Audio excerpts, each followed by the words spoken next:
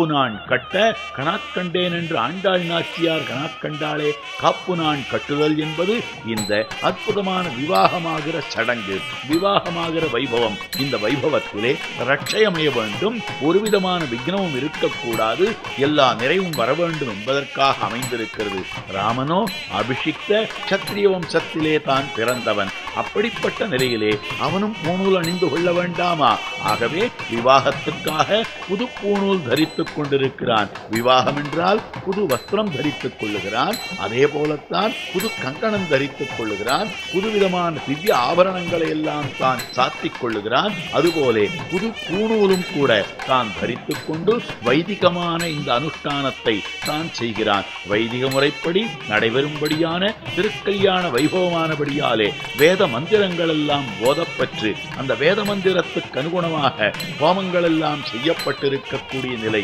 இப்பொழுது பிராட்டி திருக்கழுத்தை அலங்கரிப்பதற்காக பெருமான் தான் கட்டிவிடுவதற்காக அமைந்திருக்கக்கூடிய திருமாங்கல்யத்துக்கு சங்கல்ப பூர்வகமாக மந்திரங்களை எல்லாம் சொல்லி பலருக்கும் காட்டுவதற்காக ஸ்ரீ அர்ச்சக சுவாமி அவர் புரோகித ஸ்தானத்திலே இருந்து கொண்டு தான் பலவிதமான மந்திரங்களை எல்லாம் சொல்லிக் கொண்டிருக்கிறார்.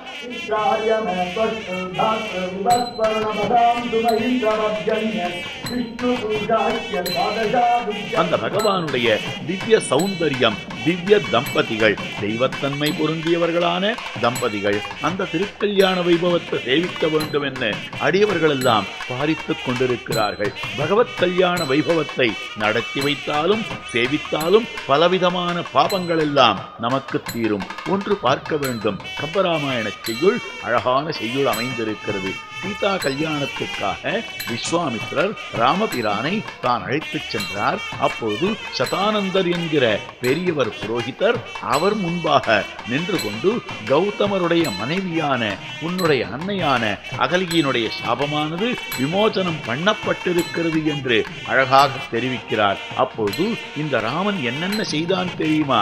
வடித்த மாதவா கேட்டியும் வள்ளல் தான். மாதவனே கேட்பாயாக இந்த வள்ளல் என்னுடைய நெஞ்சத்து இடர் முடித்தான். நான் முற்காலத்திலே எனக்கும் வசிட்டருக்கும் இருந்ததான போட்டியிலே நான் ஒரு தம்பதிகளை பிரித்து வைத்தேன். அந்த பாவம் நீங்குவதற்காக இப்பொழுது திருக்கல்யாணத்துக்காக இவனை அழைத்து வந்திருக்கிறேன். இவன் திருக்கல்யாணத்துக்கு வரமாட்டேன் என்று சொல்லாமல் நான் வருகிறேன் என்று ஒப்புக்கொண்டானே. அதனாலே என் நெஞ்சத்து இடர் முடித்தான் என்று காட்டப்பட்டிருக்கிறது. ஆக இப்படிப்பட்ட நிலையிலே அந்த உயர்ந்ததான திருமாங்கல்யம் மங்கள நான் என்று காட்டப்பட்டிருக்கிறது.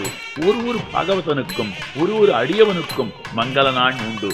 அதைத்தான் பிள்ளைலோகாச்சாரியர் மூச்சுப்படியிலே தான் காட்டுகிறார். எட்டிழையாய் மூன்று சரடாய் இருப்பதொரு மங்கள சூத்திரம் போலே. ஓங்காரமான பிரணவம் ஒரு பதமாய் அமைந்திருக்கிறது.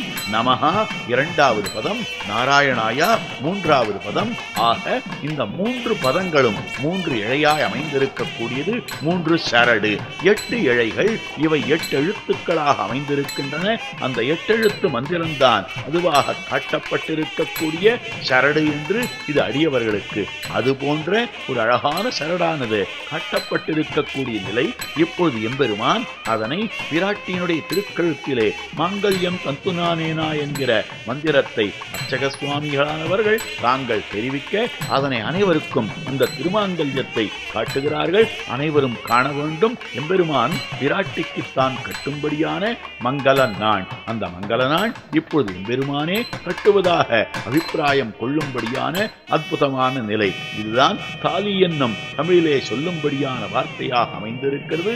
இந்த நாளானது கட்டுவது என்பது பதி சம்பந்த சூச்சகம். ஒரு பதியோடு ஒரு பர்த்தாவோடு ஒரு பெண் பிள்ளைக்கு இருக்கும்படியான சம்பந்தத்தை காட்டுவதாக அமைந்திருக்கக்கூடியது. ஆகவே சம்பந்த சூச்சகம் என்றால் ஒரு தொடர்பை காட்டக்கூடியதுதான் இந்த மங்கள நான் என்று விலட்சணமான மங்கள நாணை பிராட்டியானவள் தான் பெருமான் அணிவிக்க அணிந்து கொண்டிருக்கக்கூடிய ஒரு அழகான நிலை.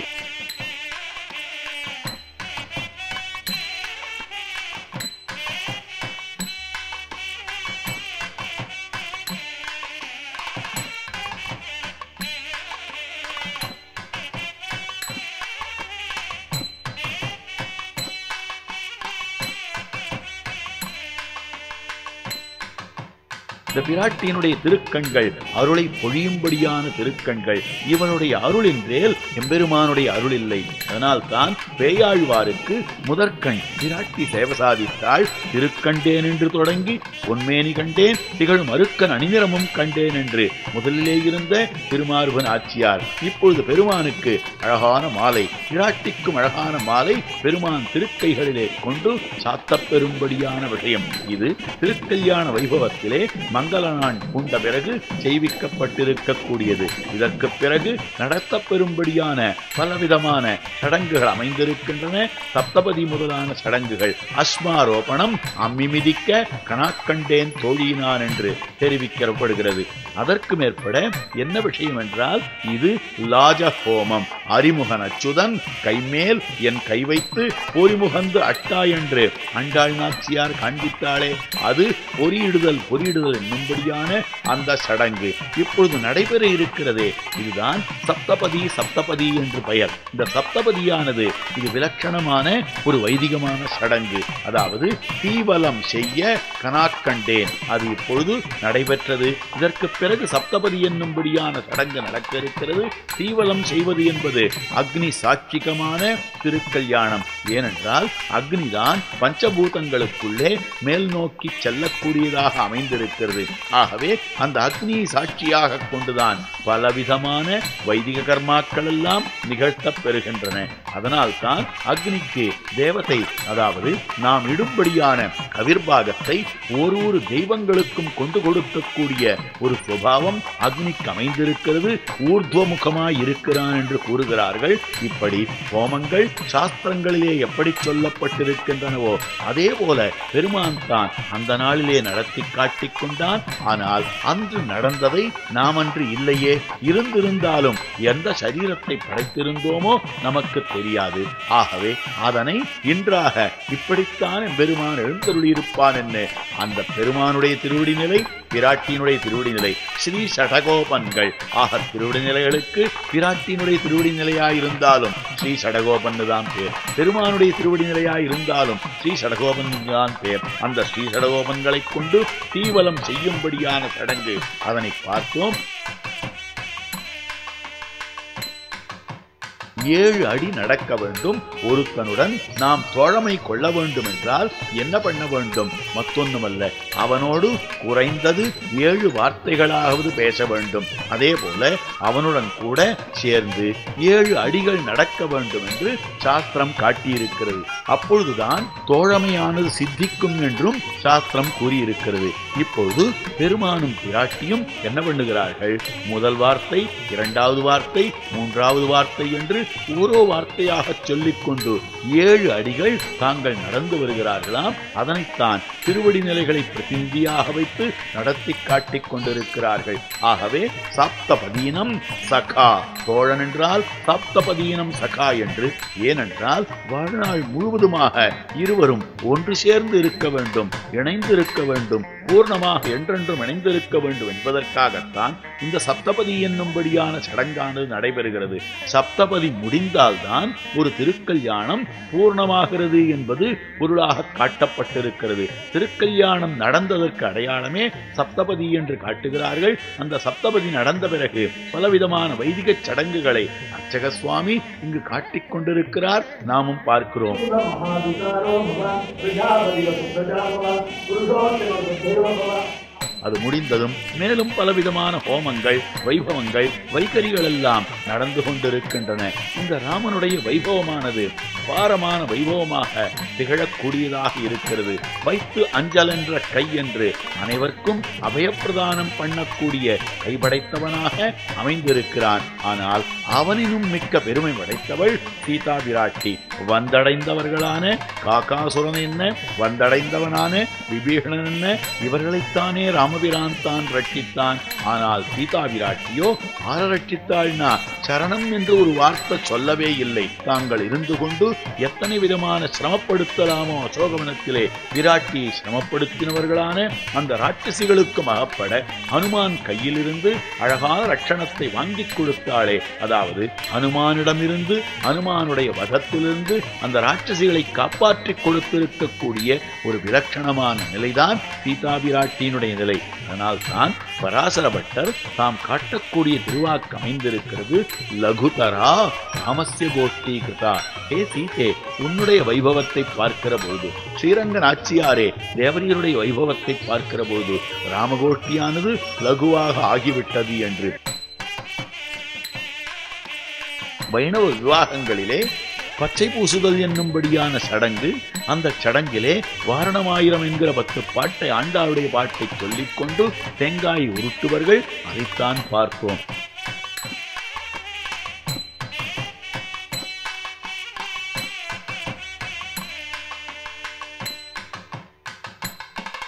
இப்பொழுது அவரவர்களுடைய பிரவரங்கள் எல்லாம் சொல்லப்பட்டு அழகாக இந்த திருக்கல்யாண சடங்கானது நிறைவேறி இருக்கக்கூடிய நிலையிலே அந்த ராமபிரான் தான் சேவை சாதிக்கும்படியான அழகு வீராசனத்திலே தான் எழுந்தொழியிருக்கக்கூடிய நிலை பக்கத்திலே திருமண திருக்கோலத்தோடே திராட்டித்தான் எழுந்தொழியிருந்து திவ்ய தம்பதிகளாக அவர்கள் அனுகிரகித்துக் கொண்டிருக்கிறார்கள். சரணாகதி பண்ண வேண்டும் என்றாலும் கூட சீதாராமர் இருவரையும் சேர்ந்துதான் சரணாதி பண்ண வேண்டும். லக்ஷ்மணன் காட்டினான் சீதா சமட்சம் காக்குஸ்தம் இதம் வச்சனம் அப்ரவீத்து சீதா விராட்டியோடு கூடியிருக்கக்கூடிய ராமபிரானிடத்திலே இந்த வார்த்தையை சொன்னான் என்று காட்டுக்கு செல்லுவதற்கு முன்னாலே தன்னை உடன் அழைத்துச் செல்ல வேண்டும் என்பதற்கு சீதையை முன்னிட்டு கொண்டுதான் ராமனிடத்திலே சரணாகதி பண்ணினார் லக்ஷ்மணனான ஸ்ரீ இளைய பெருமாள் அதற்கு பிறகு தொண்டு செய்ய வேண்டும் என்றால் எப்படி செய்ய வேண்டும்? வெறும் ராமனுக்கு மாத்திரம் தொண்டு செய்தானா? இல்லை இல்லை. விராட்டிக்கும் சேர்த்து தொண்டு செய்தான். அதை காட்டினான் ஏ ராமபிரானே பவாம்ஸ்து சக வைதேஹ்யா கிரிசானுஷம்சதே அகம் சர்வம் கரிஷ்யாமி ஜாகிரத ஸ்வபதச்சதே தேவரீரும் பிராட்டியாரும் மலை தாழ்வரைகளிலே கொண்டு உலாவியருளுகிற போது தேவரீருக்கு எல்லா விதமான பிராட்டிக்கும் எல்லா விதமான கைங்கரியங்களையும் நாம் செய்ய பெறுபவன் ஆக வேண்டும் என்று அந்த பகவானிடத்திலே பிரார்த்தித்தார். அப்படி கைங்கரியத்துக்கு பிரதிசம்பந்திகளாக இருக்கக்கூடியவர்கள் அவர்கள் இருவருமே சமாசிரயண காலத்திலே அதாவது திருவடிகளை அடையும்படியான காலத்திலே பிராட்டி முன்னிட்டுக் கொண்டு அடைய வேண்டும். அதனால் தான் நம்பிள்ளை வீட்டிலே ஆசிரயண வேலையோடு போக வேளையோடு வாசியர ஒரு மிதுனமே நமக்கு உத்தேசியம் என்று காட்டினார். ஆசிரயண வேளையிலே சமாசிரயணம் பண்ணுவது அதாவது சரணாகதி பண்ணுவது அந்த காலத்திலே பிராட்டி புருஷகாரமாகத்தான் அமைந்திருக்கிறாய். போக வேளை கைங்கரிய வேளையிலே நம்மிடத்திலே கைங்கரியம் தொண்டினை கொள்ளுமவளாக அமைந்திருக்கிறாள் ஆக இரண்டு வேளையிலேயும் கூட பிராட்டியை விட்டு ஓர் அனுபவம் கிடையாது என்று காட்டப்பட்டிருக்கிறது. அப்படிப்பட்ட சீதாராமர்கள் தான் இன்று திவ்ய தம்பதிகளாக நம் எதிரிலே நம்முடைய இல்லத்திலே வந்து சேவை சாதித்துக் கொண்டிருக்கிறார்கள். ஆக திருக்கல்யாண வைபவத்தை சேவிக்க வேண்டும் என்றால் அன்றிருந்திருக்க வேண்டுமே? இல்லையே என்கிற குறை வேண்டாம். மாதவனுடைய சந்நிதிக்கு சென்றிருக்க வேண்டுமே? செல்லவில்லையே என்கிற குறை வேண்டாம். இல்லை இல்லை அவன் எத்தனை கருணையுடன் கூடினவனாக அமைந்திருக்கிறான். அவன் பராவரன் என்று சொல்லப்படுகிறான். இந்த சந்நிதியே மாதவனுடைய சந்நிதி. மாதவன் அந்த மாதவன் எப்படி அமைந்திருக்கிறான் என்றால் லோகநாதகா மாதவகா பக்தவத்சலகா அவன் லோகநாதனாய் இருக்கிறான் பராத்பரனாய் இருக்கிறான் என்று பொருள். மாதவன் மகாலட்சுமிக்கு நாதனாக மாயாகா தவகா என்று சொல்லப்பட்டவனாக தான் அமைந்திருக்கிறான் பக்தவத்சலகா பக்தர்களுக்கு வாத்சல்யம் காட்டுகிறான் என்று இந்த இரண்டையும் பார்க்க வேண்டும். பக்தவத்தல் என்றால் அவன் நீர்மையை காட்டுகிறான். மாதவன் அவன் மாதவனாயிருக்கிறபடியாலே பக்தர்களுக்கு வத்சலனாய் இருக்கிறான் அவன் மாதவனாய் இருக்கிறபடியாலே பராத்பரனாய் இருக்கிறான் அண்டாள் நாச்சியார் மாமாயன் மாதவன் வைகுந்தன் என்று காட்டினாள் ஆகவே பிராட்டி சம்பந்தத்தால் தான் பெருமான் பரனாகவும் விளங்குகிறான் சுலபனாகவும் விளங்குகிறான்.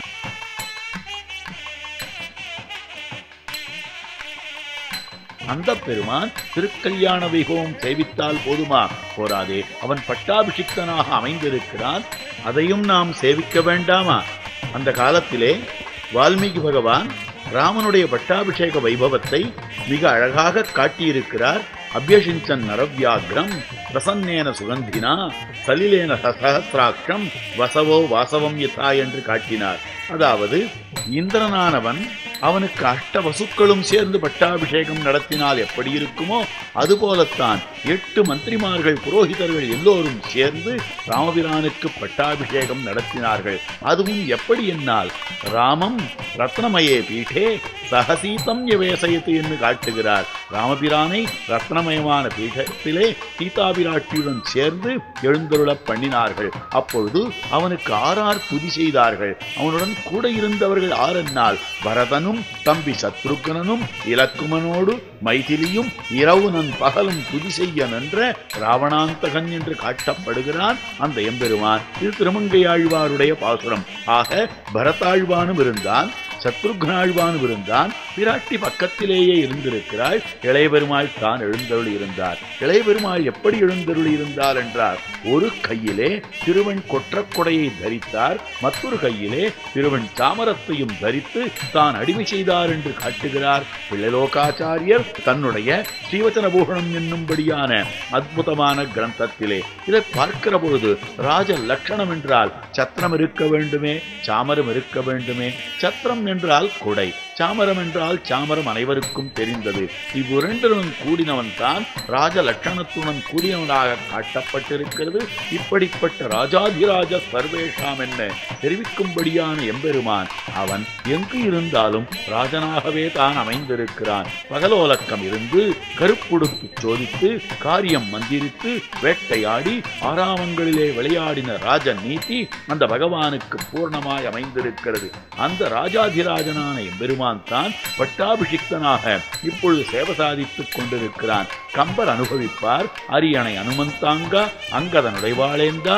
பரதன் வெண் குடைகவிக்கா இருவரும் கவரி பற்ற விரைசெறி குழலி ஓங்கா வெண்ணைமன் சடையன் தங்கள் மரபுலவம் கொடுக்க வாங்கி வசிட்டனே புனைந்தான் மௌலி என்று காட்டியிருக்கிறார் கம்பர். இப்படிப்பட்ட நிலையிலே பார்க்கிறபோது பட்டாபிராமனான திருக்கோலமானது அனைவருக்கும் ஆகர்ஷகமான திருக்கோலம். அனைவரும் ராமராஜ்ய ராமராஜ்யம் வேண்டும் ராமராஜ்யம் வேண்டும் என்று ஆசைப்பட்டார்களே இப்படி எழுந்தருளியிருந்துதான் ராமன் தான் ராஜ்ய பரிபாலனம் பண்ணினான். அவன் ராஜ்ய பரிபாலனம் பண்ணிக் கொண்டிருந்த காலத்திலே உலகத்திலே இருக்கக்கூடிய அத்தனை பேரும் குழந்தைகளோடு பெரியவர்களோடு வாசியர எல்லோரும் ராமோ ராமோ ராமயிதி பிரஜானாம் அபவங்கதாக ராமபூதம் ஜெகதபூத்து ராமே ராஜ்யம் பிரசாசதி. ராமம் ராமன் ராமன் ராமன் என்றே அனைவரும் சொல்லிக் கொண்டிருந்தார்களாம். வீதியில் விளையாடும் குழந்தைகள் கூட ராமச்சரித்திரத்தையே காட்டி விளையாடிக் கொண்டிருந்தார்கள். பாலாகா அபி கிரீடமானாகா என்று காட்டுகிறார் வால்மீகி முனிவர். அப்படிப்பட்ட ராமபிரான்